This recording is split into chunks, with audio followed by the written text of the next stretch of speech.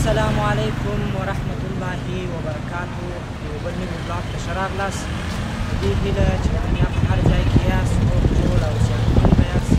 او د ژوند چارې مو په خیر بیا هم د کندهار د ښار سیریز چې راشروع کړی مو دی نو نن د کندهار ښار د شارینو په ساحه کې یو غواړم چې نن دغه شارینو دغه ساحه در باندې ووینم چې دلته شاوخوا دا کې وسایلو دوکانونه دي او نن به دغه ووینو راځئ نو ولاګ را سره تعقیب کړئ تر پایه پورې نو دا هم د کندهار ښار د شهیدانو چوک ته نږدې د شارینو ساحه ده نو دلته بیا اکثریت دغه الکترونیکس یا برقي سامانونه دي د موبایلو د دې شانو دکانونه هم سته، دواخانې دي، د بوټو نو مختلف شان دلته دي، خو زیاته برخه یې برقي وسایل دي، لکه د کالو ماشین وو، اوتوګان وو، یخچالونه وو، فلټران وو، دغه شان دي. دلته بیا دا د بوټو یو دکان دی، دا در باندې ووینم. السلام علیکم، څنګه یاست؟ دا یو د چمپلانو ښایسته دکان دی دا به هم در باندې ووینم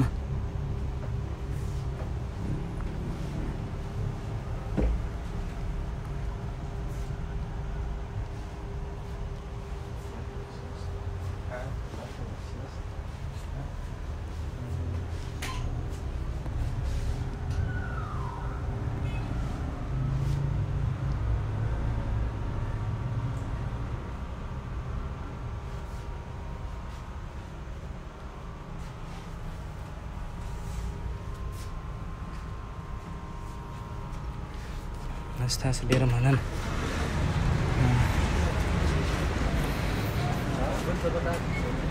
یو بل دکان دی دې ته به ورسو السلام علیکم اجازه ده ورور یو بل دکان دی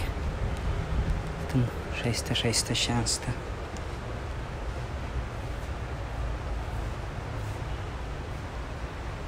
بس نو نن سبا داسې دی چې ګرمي ده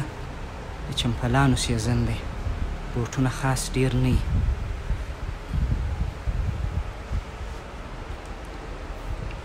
دوی بوټونه هم لري خو داسې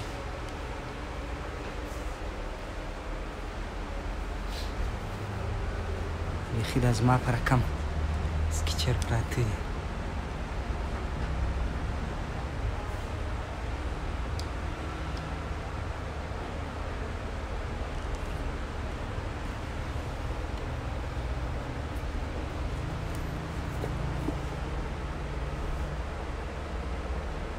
دې قیامت څو دی جی اوولس سوه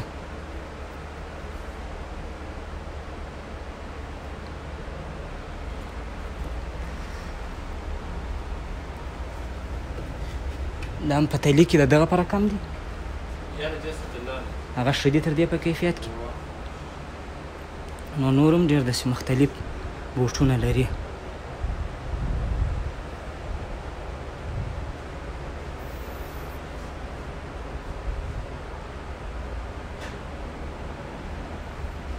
ستاسو ډېره مننه ژوندی اوسې.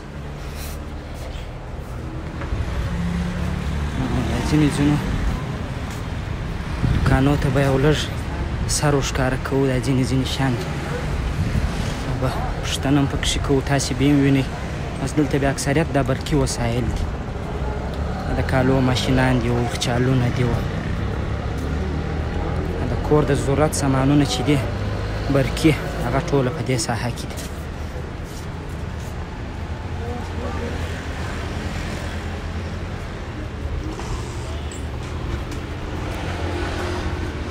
بیکری و دغه شان هم سته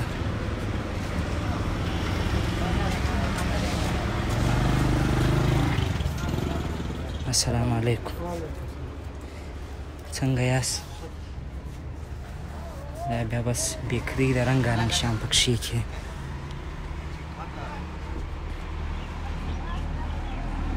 کیک دی و خوږې جلبۍ دي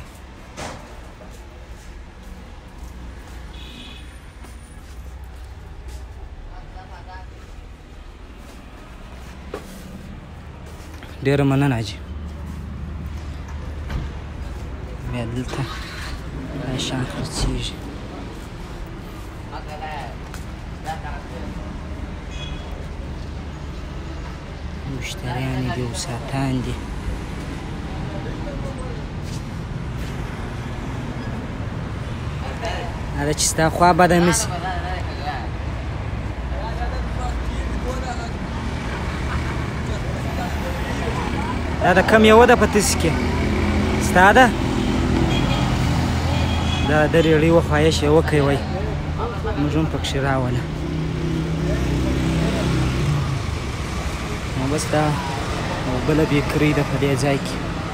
دا بیا د راډو دکان دی راډو ساتان چې دی هم ډېر قسمه قسم ساتونه شته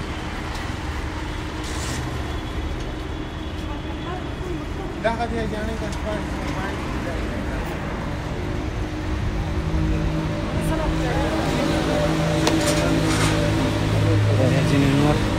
دا برقي وسایل دي السلام علیکم څنګه یاست طبیعت مو ښه دی قربان دې سم زه به دا ستا دوکان لږ داسې ښکاره کړم صحیح دی نو دا بس یخچالونه دي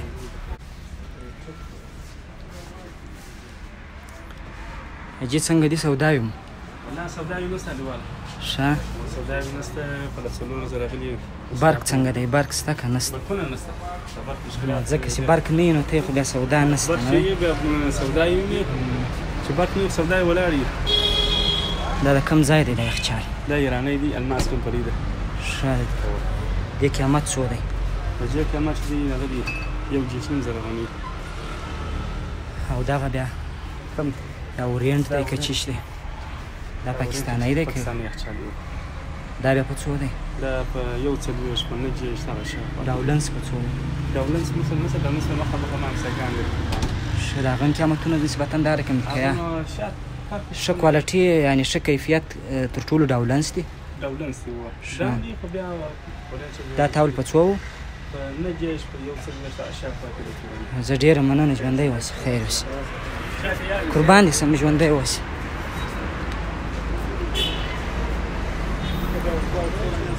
بیا د واده کې کاندې و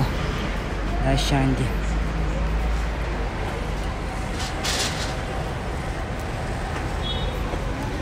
بس نو نن مې دې خوا ته راوستلاس د دې خوا چکر به درکمه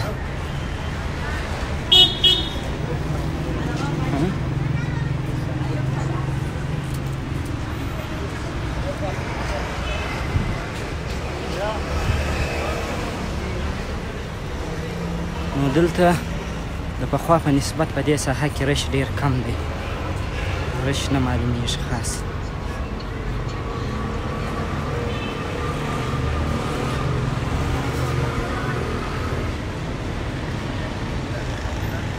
ډیر غټ دکان دی د دې برقي سامان آلاتو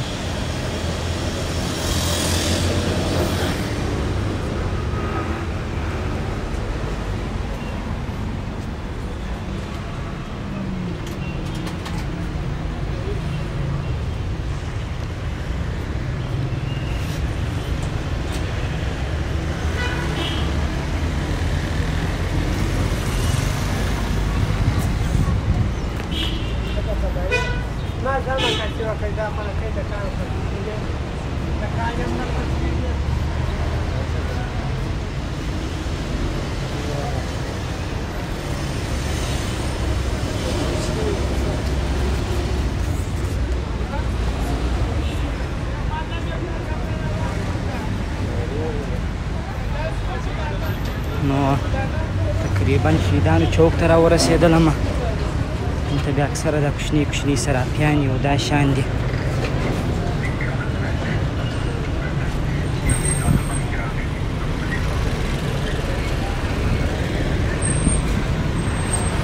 بس دا شهیدانو چوک دی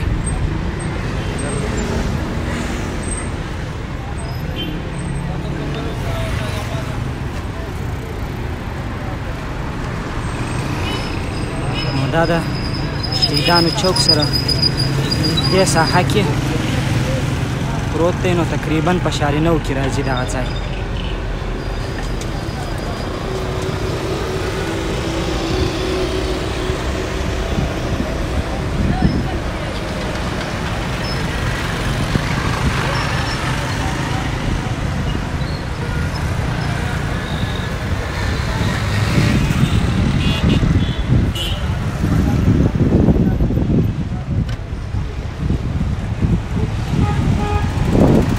نو دغسې به د دې سړک دا بل طرف ته واوړو نو پر هغه طرف باندې بیا اکثره دا فوټکاپي و او دغه پرینټ و دغه کارونه کیږي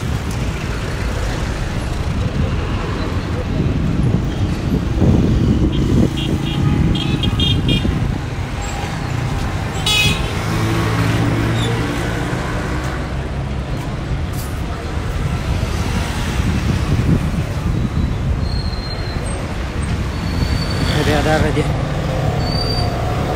څرخونه دي دغه د کالو ماشینان چې ورته وایي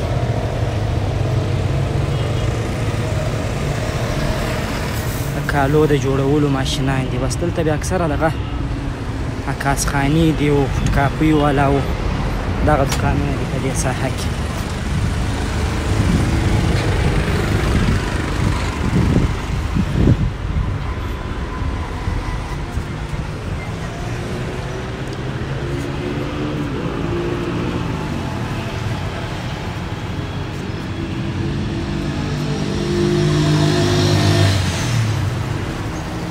بس نو دا د کندهار ښار هغه تر ټولو جوړه ساحه ده یعنی دغه ساحه کې دکانونه هم ښه برابر دي ښه جوړ دي مقصد غټ غټ دکانونه یې دي له ډېره وخته راسي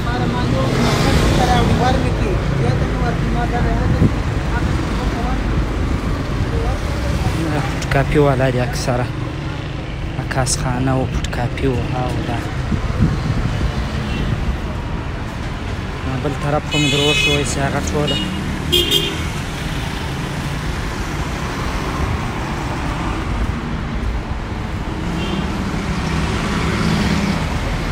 د فاطم ځینې ځینې د برق وسایل دوکانونه شته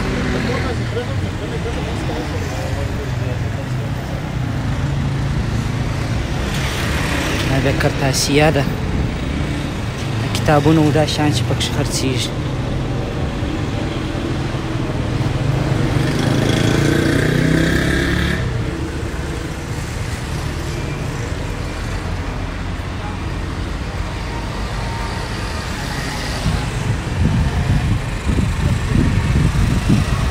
نو دلته نسبتا نور ښار ته رش کم وي په دې ساحه کې ځکه دلته داسې خاص وسایل دي چې د هغو ګراک روزمره خاص ډیر نه وي نو سرشار په نور خوراکي یا عمده فروشانې و دې ساحې چې دي هلته بیا د خلکو ګڼه ګوڼه زیاته وي دلته بیا اکثره دا موټران ګل پوښه کیږي په دغو دوکانو کې دا غبون درباندې ووینم.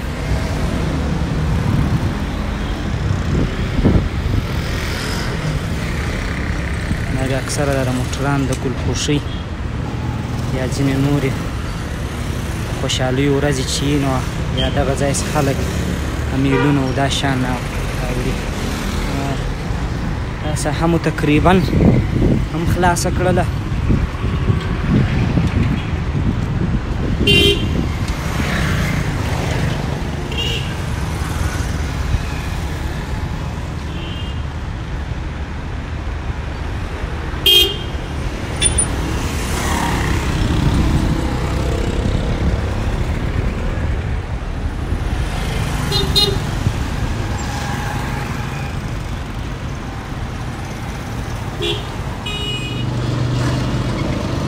نو لیمبو دی بس نو د شارینو د شیدانو د چوک له خوا څخه راغلم دا هم جاده ده جاده به مې یو نظر در باندې ووینم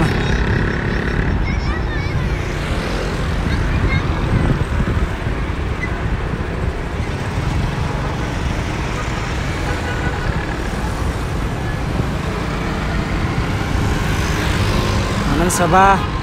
هوا ډیره لوکسه ده په کندهار کې ډیر ښه موسم دی ښه خوند کوي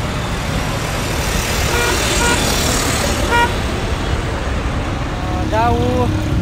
د کندهار د شارینو د نن ورځې دا تازه وضعیت چې در باندې ومو لیدی خدای دې وکړي چې خوښ شوی مو یې او خوند مو ځینې اخیستی وي نو تر یو بل ولاګه پورې ما ته راکړئ اجازه هر چیرې چې یاست ښه وخت ولرئ د الله په امان